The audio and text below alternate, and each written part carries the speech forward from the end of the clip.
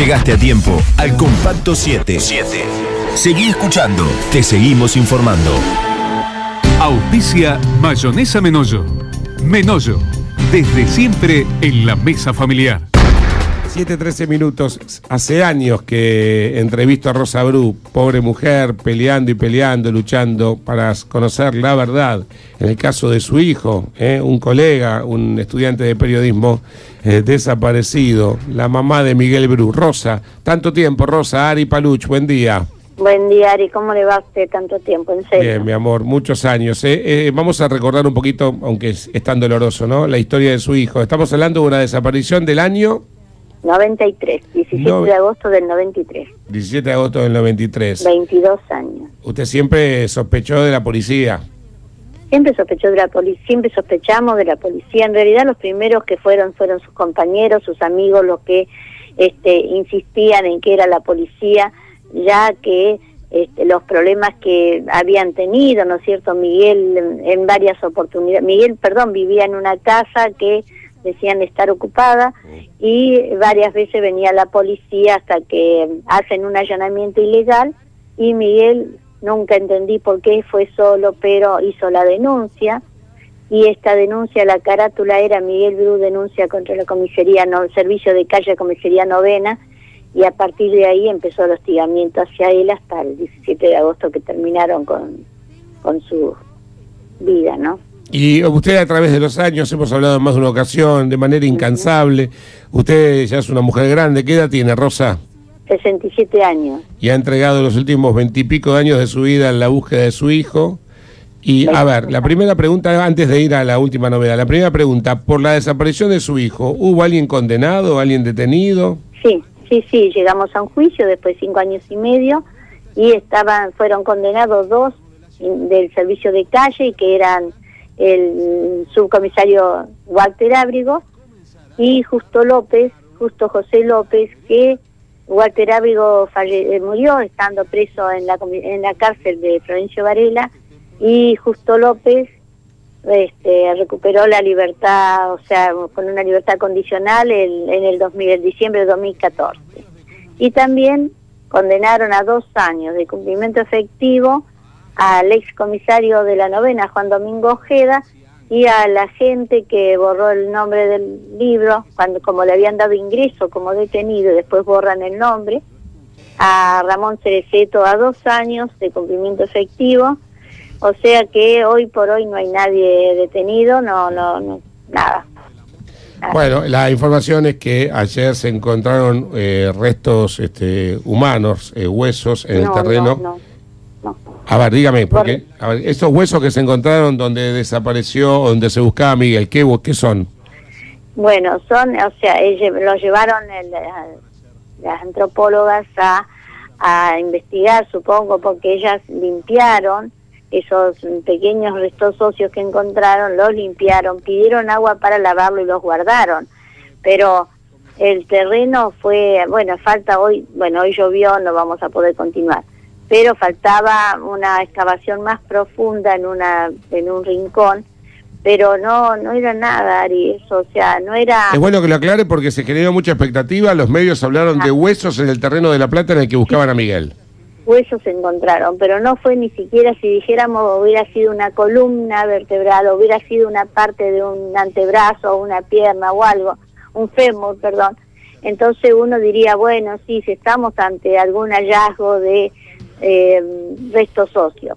Pero fueron muy chiquitos y yo decía ayer también se había generado una, una gran expectativa y yo decía que este, nadie dijo que hubieran descuartizado a Miguel o que lo hubieran incinerado, ahí no había restos de haberse... Eh, este, o sea que los huesos hallados no son humanos siquiera.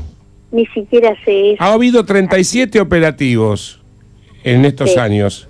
Usted hasta ahora, ¿qué certeza tiene que además de su este, hijo eh, que está desaparecido y que por supuesto está fallecido, ¿hay alguna otra certeza de lo que pasó con Miguel? No, no, nunca nadie de ellos habló y justamente este, el testigo que, con el cual vamos al lugar no quería declarar a, eh, Ari porque decía que nosotros no nos tenemos que olvidar que los testigos que estaban esa noche detenida el 17 de agosto en la novena, dicen que entre cinco o seis personas torturaban a Miguel esposado a una silla. Entonces, él lo primero que dijo, nosotros no nos tenemos que olvidar que hay entre por lo menos tres personas que esa noche torturaron a Miguel, que saben dónde está, y yo son policías y tengo miedo. Tengo miedo a las represalias, tengo miedo por mi familia. Y recuerda usted lo que pasó con eh, Julio Jorge López, ¿no? Tal cual. Entonces, este, yo en ese momento dije, no, no, no, tenemos que ir a la fiscalía, tenemos, bueno, tomando todos los recaudos. Sí. Este, este señor, gracias a Dios, después de 22 años, vino y dijo, yo creo saber o tener el dato de dónde está Miguel. Eso es lo que rescato, Ari. Y eso es lo que usted, es lo único que en todos estos años pudo averiguar, no mucho más que eso. No mucho más, o sea, todos fueron este, datos que terminaron este, en nada, o sea que no había nada. En este caso falta, falta profundizar la, la, las búsquedas, o sea, excavar más profundo pero hasta ahora todavía no podemos hablar de que se encontró un, cadáver. No, no, no. no. 22 años, 37 operativos y no se encontró absolutamente nada. Negativos, y bueno, pero este, lo que yo rescato es eso, la solidaridad de la gente y, y el, cuál era la necesidad nuestra. 22 años son mucho, mucho tiempo, pero fue allí también cuando sucedió esto, ¿no es cierto? Y la necesidad de la familia justamente es saber dónde está Miguel, terminar con eso. Y la, familia, no solamente la familia, porque ahí siguen desde la Facultad de Periodismo acompañando permanentemente, Ari, los amigos, aquellos chicos, que para mí van a ser los chicos toda la vida, ahí están llevando adelante la Asociación Miguel Bru, y siempre a la expectativa, esperando de, de, de, tener el, el, final de esta historia, ¿no es cierto? El final es saber dónde está Miguel, y bueno, y, rogar, rogar a Dios, o este, que estos que quedan realmente impunes, estos asesinos que caminan por la calle de La Plata y seguramente alguna vez nos hemos cruzado, que digan dónde está Miguel, no importa en qué, en qué, por terceros, algún periodista, yo siempre ofrezco a los periodistas de que con tanta este, solidaridad con esta lucha, ¿no? Si ellos se dirigieran en forma anónima de estoy segura que aquel periodista que supiera lo, lo para nosotros terminar con esta lucha. Rosa, le mando un beso enorme, gracias y ojalá que así sea y a disposición como siempre. Muchísimas gracias, Ari. Un, le mando un abrazo muy grande. Muchas gracias, mi amor. Rosa Schoenfeld de Bru, la mamá de Miguel. Eh, parece mentira, eh, pero es verdad. ¿eh? Eh, desde el año 93 que ha desaparecido, muy poco se ha avanzado y no se ha esclarecido el caso, independientemente de que hubo algunas condenas. Hoy no hay nadie preso.